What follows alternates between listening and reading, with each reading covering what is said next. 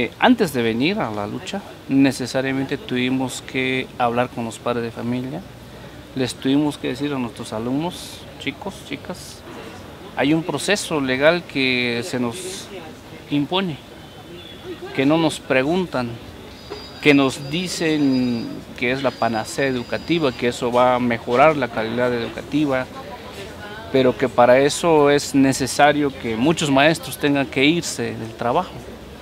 Ese contexto lo conocen nuestros alumnos y nuestros padres de familia. Entonces nuestros estudiantes están con nosotros en nuestras marchas, están con sus carteles, yo apoyo a mi maestro, yo soy padre de familia, yo estoy con mi maestro, yo no quiero que despidan a mi maestro, no quiero que mi maestro se vaya.